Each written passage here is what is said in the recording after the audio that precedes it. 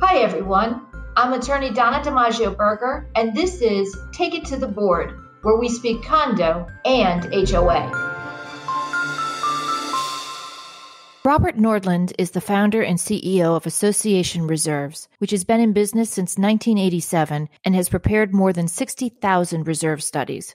Welcome to Take It to the Board, Robert. Donna, it's a pleasure to be with you today. Robert, let's start with what you do for boards and managers. What is a reserve study and how does it benefit communities? Well, a reserve study is a capital budget plan that helps boards anticipate and prepare for their major common area repair and replacement projects. So, in other words, we answer the fundamental question every board has every year what should I do about reserves? And does that include just physical components in the community, Robert, like a roof or or or a clubhouse, um, or do you set aside money for uh, uninsured losses like a deductible, a large windstorm deductible, let's say? No, uh, we are guided by National Reserve Study standards, and that's a four-part test that uh, restricts projects to being those that are common area maintenance responsibilities, life limited, with a predictable remaining useful life and above a significant cost to repair or replace. So that weeds out deductibles because we don't know when those types of things are going to happen. It's not a wish list. It's not a um, savings account for capital improvements. It's strictly a way to plan for those major predictable projects that are in front of an association. Now, that said, some of those major projects may not be physical like you said. They may be the five year elevator load test. They may be the um, sprinkler function test. They may be in California, the every nine year uh, balcony inspection, elevated exterior element inspection. In Florida, it may be the, um, or in two counties in Florida, the 40 year certification that then will be every 10 years thereafter. So we incorporate those major projects, those predictable major projects that are essential to moving the building forward successfully into the future. So, if I'm hearing you correctly, Robert, it's based on what you have, not necessarily what you're going to have, like in terms of a capital improvement. But this is why I would assume that you have to do periodic reserve studies because your community can change over time. For instance, I have communities that have acquired additional property next door that they may use for overflow parking. Um, they may build, there may be capital improvement projects. And once they've gotten past and completed that project, then that would be an asset or a component for which they would be reserving in the future. Is that correct?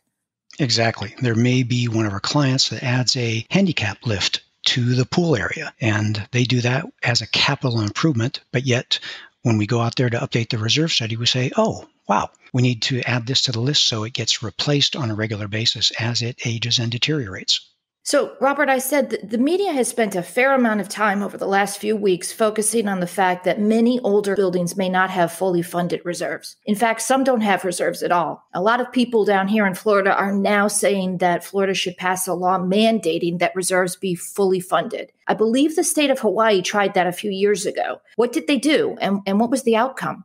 like you suggested, I've been asked that question. What we learned was in 1991, Hawaii enacted a law requiring 100% funded of reserves. They wanted to do that because, as we all know, Hawaii is a great destination. They have a significant condominium housing stock, and they wanted to prevent that housing stock from falling into decay or disrepair. Now, that 1991 law was passed. It was supposed to go into effect in 1993, and it had a five year deadline for compliance. And so basically, that 1991 law said you need to be 100% funded by 1998. So quickly the voters um, had their say. They rang the phones off the hooks of their legislators, and that law was repealed in 1992, even before it went into effect. It was watered down to only requiring the association be 50% funded. That's a much easier target. Um, in the years since, it's been watered down even further uh, so that the association only needs to be cash positive to demonstrate that they are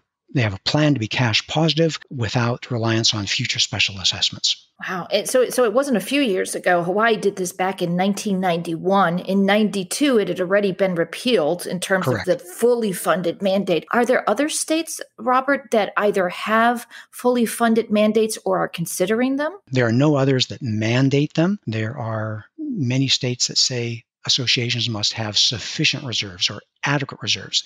Most governing documents say that the board is empowered to collect sufficient funds to maintain and protect the assets of the corporation. You, of course, know that. You know, it's so interesting. You said that it, it, it really took just a few short months for, for people to push back in Hawaii against the fully funded mandate. And, and I imagine this is an incredibly emotional argument. And again, this is not a board issue. This is a membership issue. In Florida, for instance, it's the members who waive reserves. The board is required to pass an operational budget with full, fully funded reserves. In Florida, that's for roof, painting, paving, and any other item for which the deferred maintenance or replacement cost exceeds $10,000. Here's the thing though. Then you put it out to the members. So you've got some boards that automatically put it out to the members for a full waiver. But the reality is, the law doesn't require them to put it out. The members do have the right to waive. But in my opinion, you don't have to ask them to waive. And so one of the issues is perhaps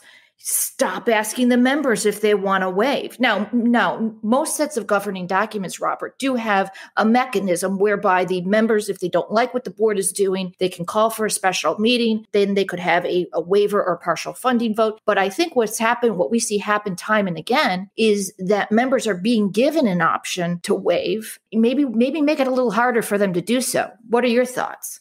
My understanding, again, I come at this from a professional engineer and a reserve study provider. It's hard for my brain to comprehend that anyone other the than the board of directors sets the budget. And it's been this way for many years that the owners in the state of Florida have the right for a line item veto of reserve contributions. The roof is going to deteriorate. Just because the roof doesn't send the bill each month doesn't mean that that bill is unlike any other that needs to be repaid. It's exceedingly rare for the members to have the right to approve a budget I, I can't say that I've never seen it, Robert. I have seen two sets of governing documents over the two and a half decades I've been doing this that did have a requirement that the members approve the budget. But again, that is exceedingly rare. Now, what the members, again, this is Florida law right now we're discussing. If an if, if the board proposes an operating budget um, and the assessments under that budget exceed 15% of the prior year's assessments, excluding reserves, then the membership in Florida has the option to substitute their own budget. Again, again, in 25 years, I've never seen that happen. So we get back to the issue of why do members not want to fund reserves? And one of the things that I've heard is that we just don't want the board to have that amount of money at their disposal.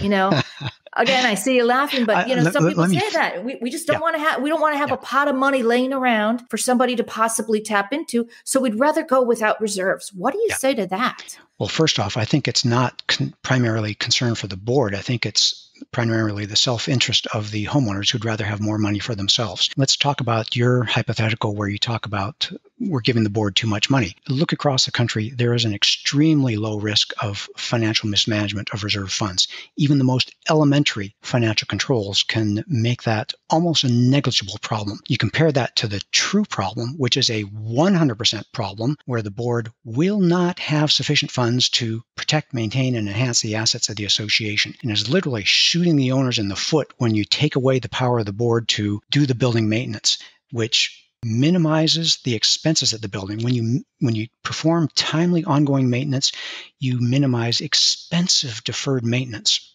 And number 2, doing that maintenance enhances property values. And that's in the self interest of all the homeowners. And so allowing the board to do their job is in the best interest of every homeowner by minimizing the overall cost of the building because you're solving problems when they're small and you're doing a tremendous job of continually maximizing home values. I couldn't agree with you more, but we do have people with some short term thinking, thinking, you know what, I'm not going to live here that long. Maybe some people, I'm not going to live that long. So I don't necessarily want to put money away each year. But I do think, Robert, that purchasers are becoming more sophisticated. Sure. Yeah, Donna, can I stop you on that? Let's just look at that right now. For the person who doesn't want to put money away, that is a opportunity to reframe the conversation rather than imagine or consider reserves as setting aside for the future for a rainy day or for a future expense, anything like that. Reserves should be framed as offsetting ongoing deterioration. That's all reserves are. Is as the roof is gradually deteriorating, you're providing reserves to offset that ongoing cost. And when you take care of the present in that manner, the future takes care of itself. And everyone is only being asked to pay their fair share of current deterioration. We're not asking them to set money aside for the future. We see it in all aspects of our life. When I was uh, doing a lot more traveling, I'd get out of the airplane, go to the rental car place, Mr. Nordlund, here's your car. And they never once said, Oh, by the way, Mr. Nordlund, ha ha ha, sorry you. Um, make sure you take enough time to get an oil change before you bring it back. That's a special assessment. And when I check into the hotel, they never once said, Oh, I'm sorry, Mr. Nordlund, you have a reserved roommate at $169 per night, but tonight there's an extra $500 fee because we're replacing the roof. In our world, we expect businesses to manage the ongoing costs of continuity, the ongoing cost of ownership. But in the community association world, it is amazing when we step back and look at the ability for these organizations to say, ah, we'll defer that to the future and continually run ourselves in crisis mode. So you want to reframe the entire conversation, the entire discussion. It's not. It's you just want to keep up in real time. Just just we're keep not up. Asking, we're not asking anyone to set money aside for the future. All we're asking for is the new couple, the young couple who has a lot of bills as they're growing their family, they're anticipating a first child, or you go all the way to the older couple who's retired and on fixed income. All we're talking about is saying just pay your fair share while you're using the common area assets of the association. Well, yeah, there, there's always this conversation, and it's particularly in shared ownership communities, Robert, about equity. You know, you've got a new purchaser, and then they get hit with a special assessment. You know, a month or two in, and they say,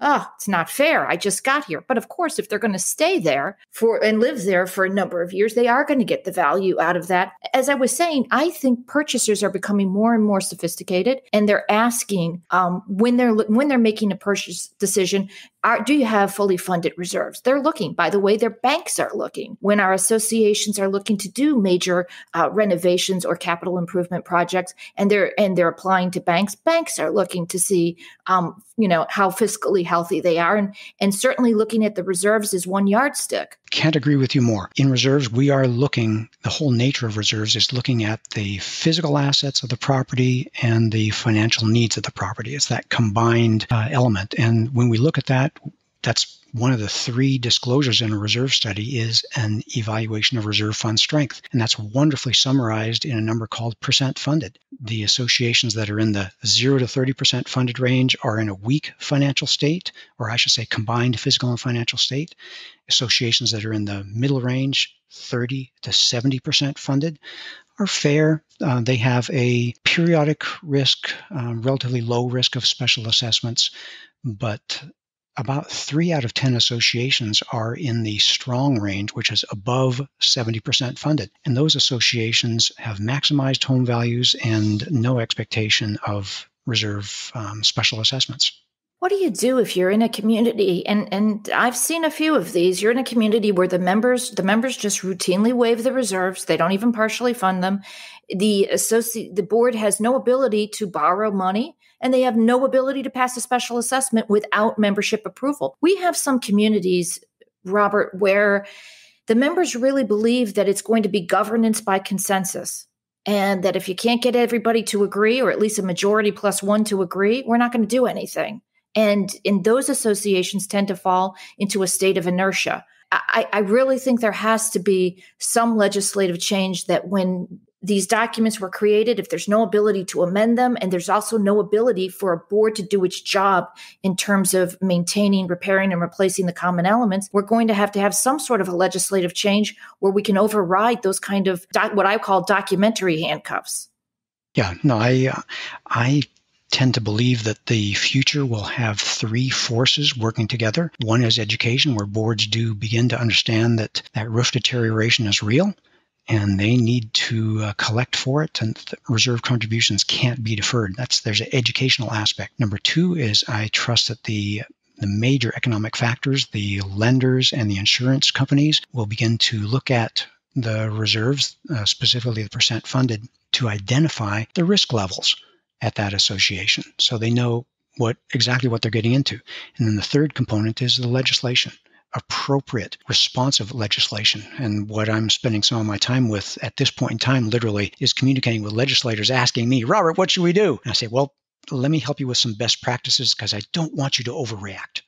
Well, that's good advice. And, and, and I want to talk to you a little bit later on about what some of those recommendations you're making to legislators. And I want to know across the board. You know, we've got a lot of people listening around the country, actually, even around the world. But um, one of the things I want to ask you, Robert, is what do you believe are the principal factors compelling a community to fully fund reserves? Do those factors vary depending on the community? For example, are fully funded reserves more important for older buildings in geographically vulnerable areas? Does the age of the residents or the nature of the resident population, like renters versus owners, matter? So, what are those reasons?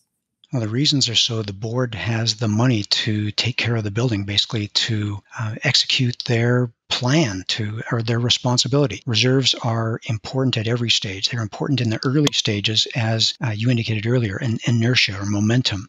So the the homeowners, when the building is brand new, don't cancel reserve contributions and think, oh, everything's fine, that'll last forever, because everything is deteriorating every day beginning from day one. So, getting appropriate expectations. So, in the early years, every owner is indeed paying their fair share. It's also very important um, for senior, let's say retirees, where they are not in a financial position to handle a special assessment. It may be most important for them because if the board has been collecting the appropriate amount of reserves over the years, then they have the money. So when the roof starts to leak and the roofer says it's going to be $100,000 and the board in unison falls off their chairs and then they look at their reserve study and they say, "Oh, we've got the money." And they repair the roof and it, everything is fine. And they are able to report in the annual meeting. Uh, you probably noticed back in March that we had our major roof project that went off without a hitch, a couple change orders. It went two or three or four percent over budget, no big deal. And the next big project in 2022 will be redoing the pool area. And don't worry, we'll get you all new patio furniture at that time. So hang with us in 2021. It's a matter of communication, it's a matter of being prepared, but having a strongly funded reserve fund, over 70% funded, has some incredible advantages. You don't have to be 100% funded to gain those advantages. You know, some of these bad habits start w- with the developer controlled association, where you've got the developer waiving reserves as well. So, you know, but you also said something very interesting to me, Robert, because listen, buildings have a lifespan. So, brand new building, just post transition from developer control, uh, I liken that to a, you know, an adolescent Remember the foolishness of youth, okay? Never yep. thought you were going to get sick. You were impervious to Superman. everything. exactly. It's the same with some of these young communities. They just got through a transition from developer control. Unfortunately, sometimes they're already in a hole because of a, a, design or a construction defect and they don't even know about it yet. You know, that's why we we urge associations that are transitioning to do an engineering report, even though in many states the developers are required to produce one, do an independent one. Make sure you get a clean bill of health right from the get-go, that you do not have any construction or design defects. But again, you know, youth, whether it's uh, referring to a person or referring to a community or a building, it glosses over a lot of problems problems that as you age, then they surface. And if, you know, if I heard you correctly, try to resist that. Try to start out from the, on the right foot. Unfortunately, sometimes the bad habits have been instilled from the developer controlled association. Yeah, we can't blame the developer for all the problems. There are some developers that do a great job of setting the association up for success. There's some developers that basically leave a crying baby on the doorstep of the first year board of directors, the uh, homeowner based board. So Donna, it's a it's a interesting situation. I think every new association needs to be cautious. They need to understand that the, the developers' motives are different than their motives. The developers' motives are to sell, make a profit, and move on. So the board members, the homeowners who have a multi year vested interest, they're the ones who want to commission an independent reserve study early and find out okay, what are the real deterioration costs of our, our association? What's ongoing? We have 1.2 miles of asphalt, not 0.8 miles of asphalt. And we have three tennis courts, not the four that the builder had in their great plans and in the sales brochure. Uh, it's important for early boards to make sure they have a good basis for getting through the first five years and then from five to 10. And uh, for transition time, it's so important for boards to transition a qualified transition study where indeed they are looking up and checking up on the, what the developer has done and developing a punch list for, oh, you forgot every uh, parking stop in the parking lot. you know, you know little you, things like that yeah. that have been forgotten. And those are revealed in a transition study. And oh, by the way, on the east side of this building, all the balconies are sloping in not sloping out. You well, this that, that that kind of inspection can actually help with your insurance appraisal. So so we have found sometimes that associations, the insurance agents have been relying upon inaccurate appraisals. In one community, they had them down with six elevators, they only had four. And so but year after year, when the insurance went out to bid for renewal, it was based on an inaccurate appraisal, an older appraisal. So I, I think you make a I think you make a great point. And you're right. Listen, developers are there to do a job and and thank God they're doing a job because we need places to live. We need them to build right. buildings. Everybody plays a role in this. You're right. The developers are looking to build a, a, quality product and to sell out inventory. But sometimes the governing documents they create do not mesh long term with successful association operations. And that's where community association attorneys like me come in and right. try to, if I can get in pre transition, I can get them on a good footing.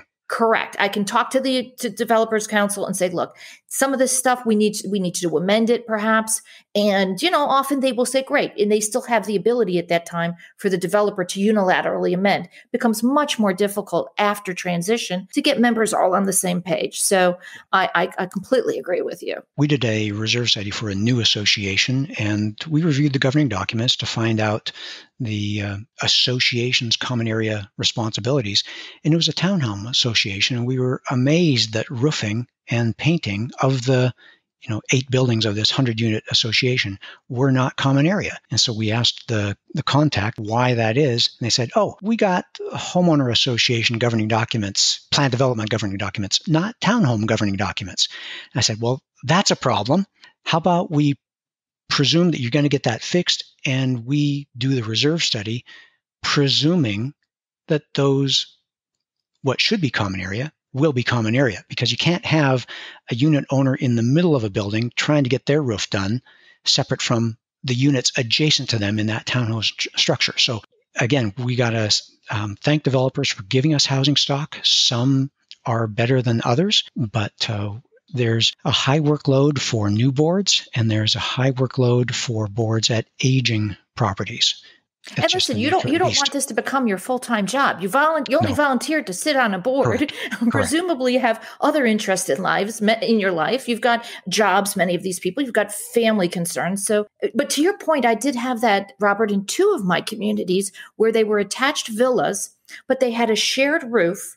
But guess what? the unit owner was responsible for their portion of the roof. So in one building yeah. and, and a storm came through, two of the homeowners had coverage, had insurance coverage to replace the roof, two did not. We changed that. I call it condominiumizing, and we changed the insurance um, obligation and shifted it from the owners to where it should have been, which was the association as a common element roof, because the way it was set up, it, it just didn't work. Donna, but, good for you. Good for you.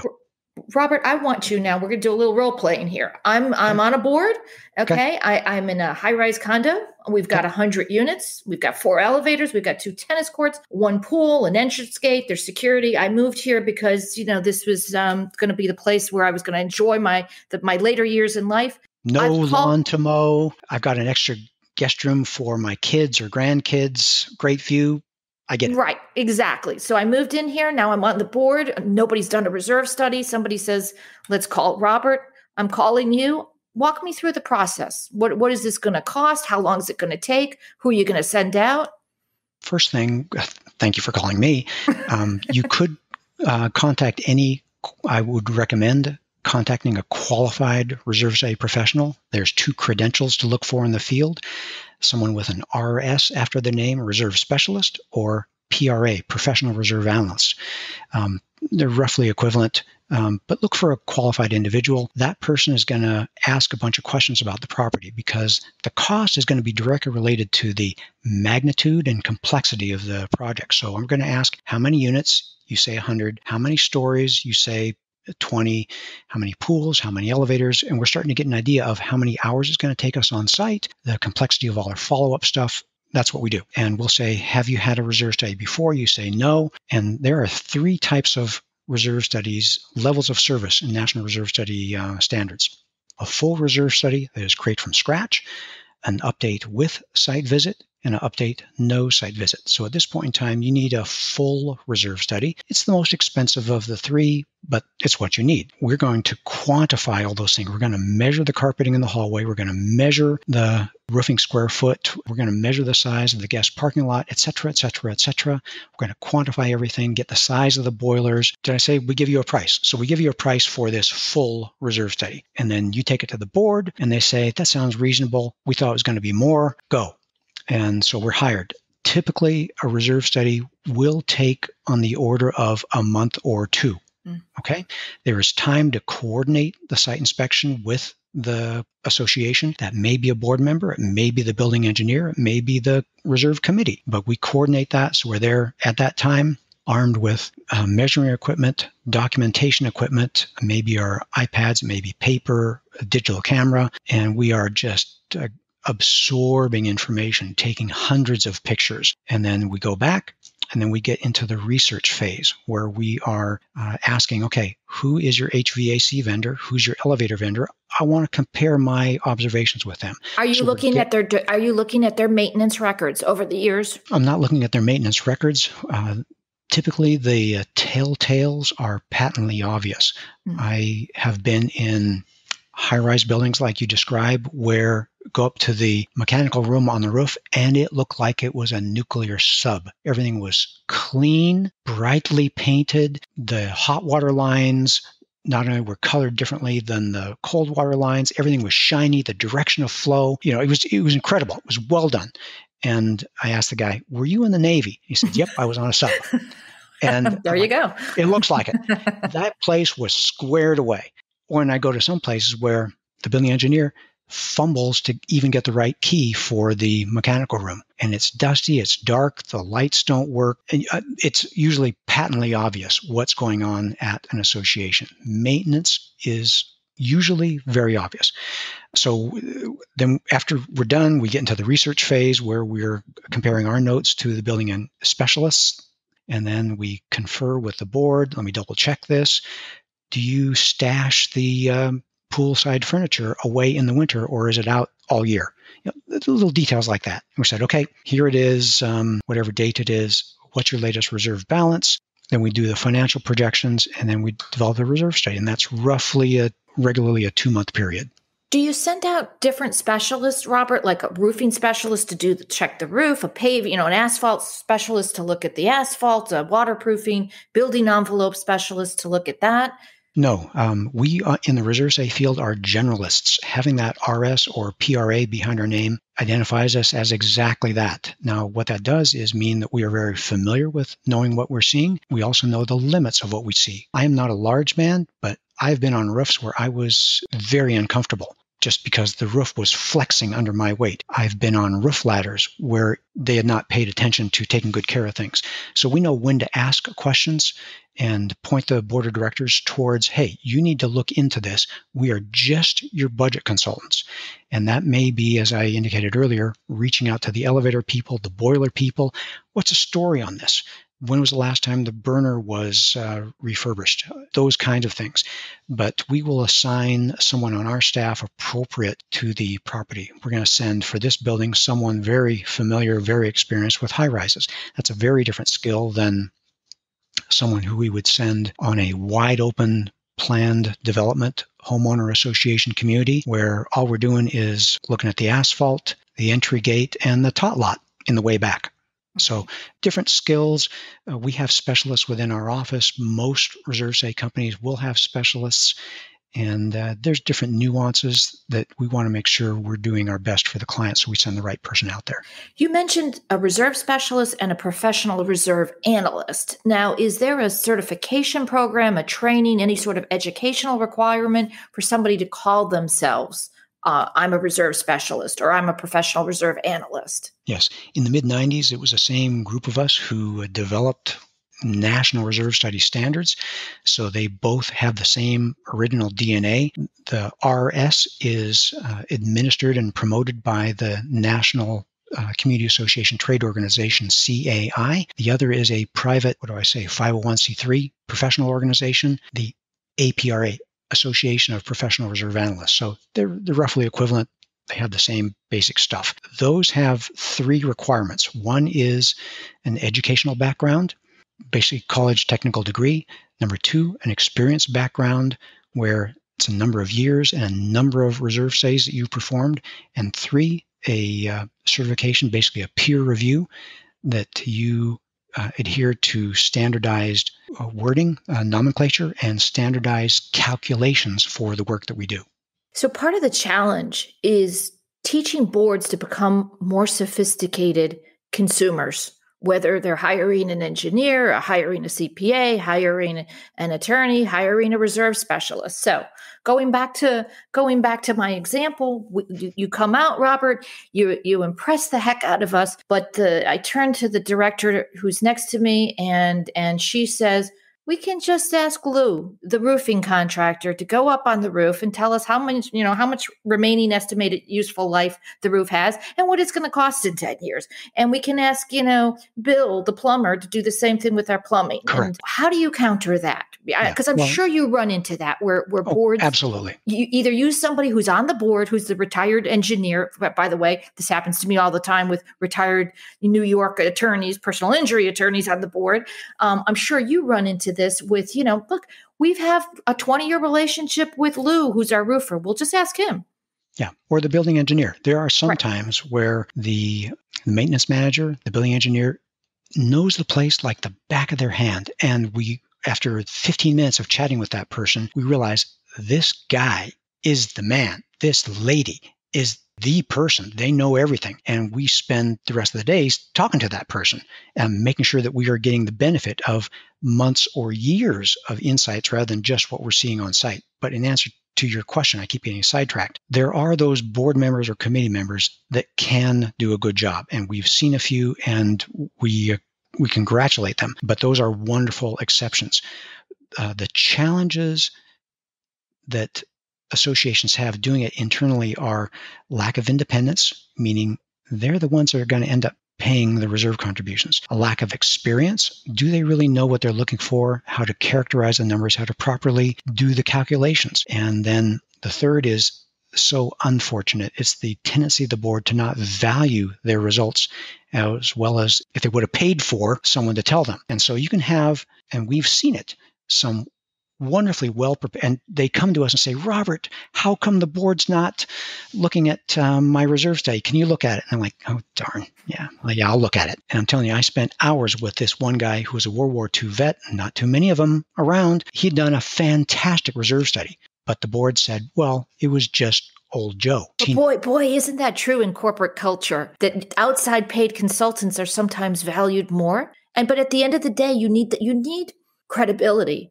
when you're when you're trying to get by and when you're trying to to to help people understand the importance of doing this credibility is definitely going to come into play so just to your example joe may have had an excellent reserve study but if it's not going it's not something that's going to be met well it's probably going to be met with a jaundiced eye by the board yes. because they've just know they've known joe for too long Yep.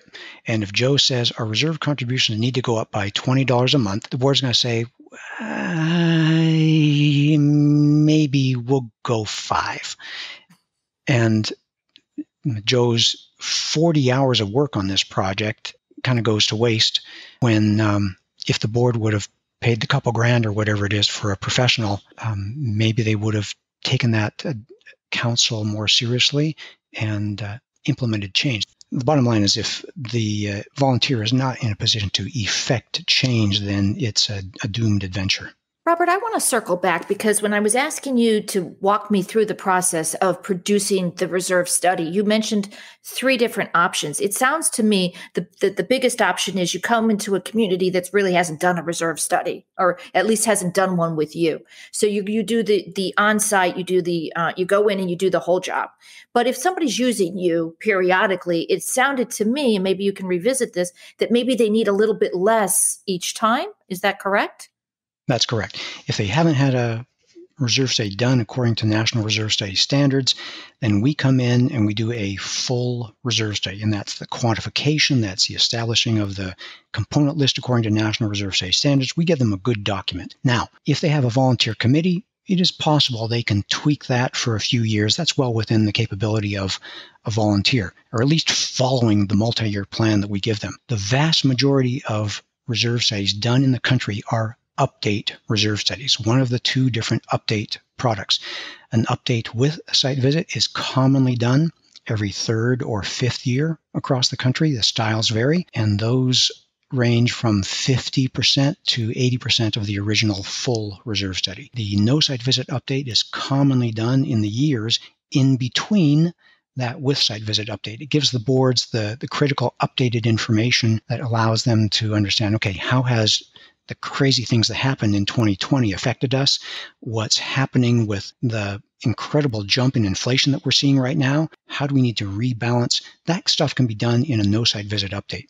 And no site visit updates are commonly 25% of the original cost, or uh, commonly hundreds of dollars, maybe capping at a, a thousand bucks, something like that. And I imagine it's it's much quicker to get that no site yes. visit report produced. Yes. Yes. Okay. So it's so Robert, simpler, it's quicker, it's a nice update, it keeps the board on track. Again, reserve contributions are one of the association's largest budget line items, and it's a very simple investment to make sure that things haven't drifted. And even in the last two years, there's a lot of reasons for things to drift. Reserve contributions not according to plan, expenses not according to plan. It's a very simple way to get back on track.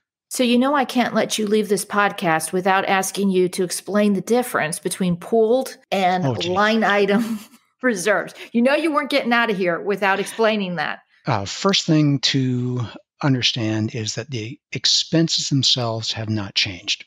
We're talking about the same set of expenses. The only question is, how are you going to calculate them? It may be the same as understanding that you're going to go to the grocery store. Am I going to take my electric car or going to take my gasoline car. It's the same trip to the grocery store. So pooled and straight line are the two different methodologies. One is more restrictive, and that's the straight line method. It means you put your reserves into all the different categories of expenses. And so we have all these little buckets of money, and it becomes an accounting challenge and it becomes it's just not optimized for the association because let's say you need to do the roof project one year early and you're short of money. What are you going to do? You're going to special assess no you really just borrow some of the painting money or maybe some of the asphalt money. And that indeed is all that the pooling method is. It sees the reserve fund as one pool of money. It allows the professional analyst, the professional, professional reserve study provider, to design a funding plan that uses those funds most effectively. So, bottom line is we are strong advocates for the pooled method in National Reserve Study Standard that's called the cash flow method. It is in the best interest of the association. Uh, it is advantageous for so many reasons. Even with the same funding goal, the same funding objective, it results in lower reserve contributions. And Donna, you ask, how can that be if it's the same set of expenses? And that's because the reserve expenses or the reserve contributions in the initial years, when you're using the straight line method, are significantly higher because they're very rapidly reducing any reserve deficit. Over 20 or 30 years, they're going to work out to be about the same. But if you have A, a straight line based reserve study in your left hand, and B, a pooled or cash flow based reserve study in your right hand, the reserve contribution recommendation for the first year is going to be lower in the cash flow recommended reserve contribution because the bottom line is you're comparing only one year, not the entire plan. Mm-hmm. Got it. Listen, I'm seeing that trend. We're seeing in Florida, at least, more a move towards pooled reserves again because of the Good. flexibility that's built in. And, and, by the way, folks, when we talk about borrowing from one reserve, like if you are straight line, borrowing from the roof to pay for the painting and waterproofing, that requires a membership vote. So again, every time when you've got those straight line reserves in Florida, you will need to take that out to a membership vote if you want to borrow from one bucket to pay for expenses that are for another bucket. So right. the pooled, I think, of, just yeah gives you a lot more flexibility. A lot of administrative overhead. Yeah, uh, absolutely. straight line method. So, staying on Florida for a moment, in Florida, the legislature mandated the use of disclaimer language in big, bold font to be used on the voting materials anytime members vote to waive reserves. Now, the purpose of that requirement is pretty simple. They want to warn people that they're possibly going to be subject to large special assessments if they waive the reserves. Okay, so I'm going to I'm going to read the language. It says in picture this in 20 font. Waiving of reserves in whole or in part, or allowing alternative uses of existing reserves may result in unit owner liability for payment of unanticipated special assessments regarding those items. So, in Florida, if you want to have your members waive reserves, that language has to be there. I will tell you my thought is that people don't even read that and it, their eyes glaze over because it's the same language they see on the limited proxy and the ballot each year. So, Robert, how effective do you think that kind of disclaimer is in getting people not to vote to waive or only partially fund reserves? Is it scary enough? It is not scary enough. It is exactly has exactly the same uh, effectiveness as the Surgeon General's warning on a pack of cigarettes. If people want to buy cigarettes, they buy cigarettes, and that Surgeon General's warning just you know they say, ah, I'll take my chances. Well, the deal with reserves is that it's not a possibility of payment of unanticipated special assessment. It's a 100% chance that you will get special assessed for this. The, the money doesn't come from nowhere. The money comes from the homeowners. The roof will fail. The elevator will need modernization. The asphalt will need to be resurfaced 100%. So if you're waiving reserves, there is a 100% chance people will have to pay for those expenses in a special assessment. Not a possibility. You can maybe think about that with smoking. Uh, maybe someone else will get cancer, but there is a 100% chance of the building getting special assessed if you waive reserve contributions. At some point. At some point. At you're some going to need yeah, you're going to need to do this. And yet we see these waiver votes go through not just by the remember, it's a majority of a quorum. It's a majority of the people present and voting. That's not a super high threshold. And yet when it comes to to waivers or only partial funding in some communities, we're seeing memberships, the members being aligned on this topic 80% or more. Does that shock you? No, I think it's the board continuing to mischaracterize two things. One is they're mischaracterizing reserves as for the future. They are not. Reserve contributions are for ongoing deterioration. Everyone should pay their fair share. It's very simple. When I walk into, recently, when I walked into a grocery store and there was a line, I got in the end of the line.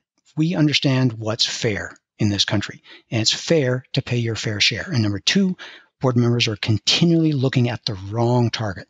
They're looking at lower monthly assessments. That is their fool's gold target.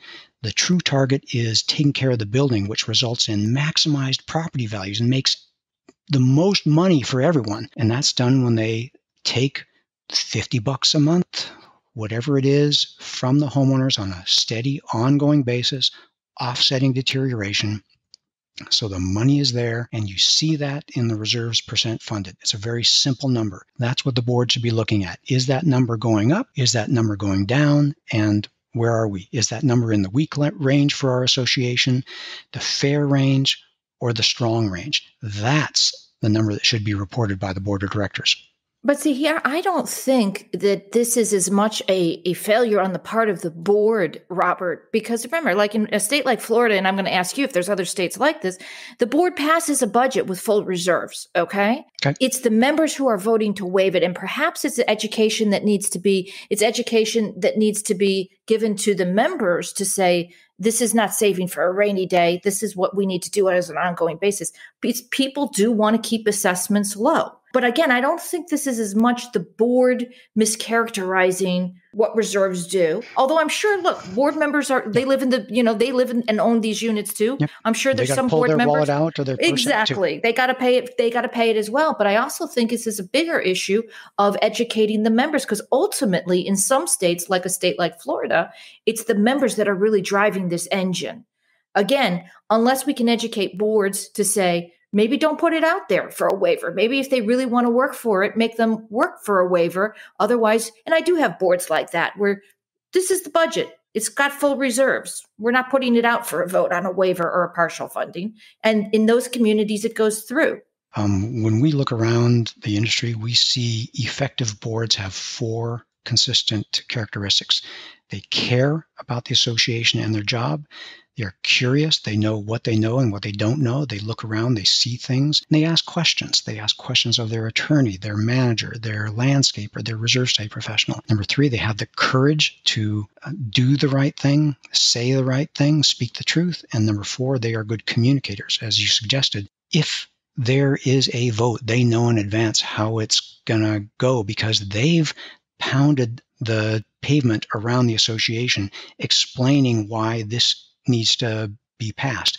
We had one client who was uh, had some significant balcony problems, and I forget how many units, you know, 50 units, something like that.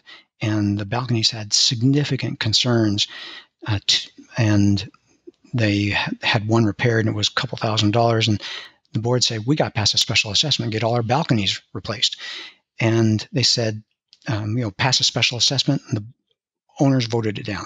They tried again, and the owners voted it down. And they reach out to us and say, Hey, Robert, we know we've got a balcony problem. We just don't have the money. And I said, Well, try a third time. And one of their board members had the brilliant idea of stacking the debris, the dry rot, and the broken wood from that failed balcony right by the guardhouse entry. Everyone saw it. So every a visual reminder. They, yep. A visual. And they all, oh, gee, that's going to happen to my balcony?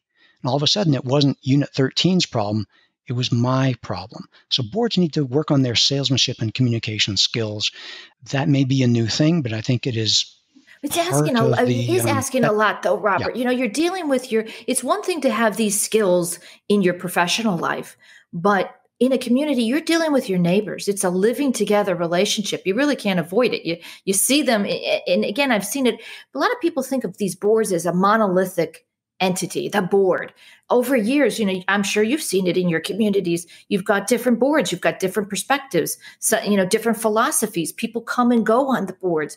And as you have additions and subtractions from the boards, sometimes you get very significant shifts in in prioritization and in perspectives and all the rest of this so we were really not dealing with a monolith here we are dealing Correct. with a very fluid um, board situation usually Correct. I totally agree. The board may be five people, but it's usually not the same five people for a number of years. Some at some associations it changes every year. At some association there's staggered terms, so there's a little bit more continuity. But it is in, incumbent upon us, and that's exactly why I'm spending time today to help spread the news of best practices. I know, Donna, you do it. You're the one with this podcast. We're trying to encourage best practices to help our clients and our all the other ones that aren't our clients understand what best practices are so we can do our best to move our industry forward successfully. Well, I think you've done a lot to educate our, our, our, listeners today, and I thank you very much for joining us, Robert. Donna, it's my pleasure. Thank you for the opportunity. Thanks so much. Thanks for joining us today. Don't forget to follow us on your favorite podcast platform and leave a review so even more people can take it to the board. Lastly, please visit takeittotheboard.com for more information.